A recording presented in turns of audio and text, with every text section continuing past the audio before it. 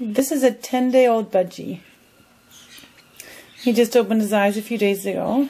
I know he's hiding his head. Looks like he's going to be white. Maybe a spangle. Could be white with blue. We'll know in a few days. There's the eyes. I love this stage. It's so cute. And when the pin feathers come in, he's got a little bit on the on the uh, wings right there.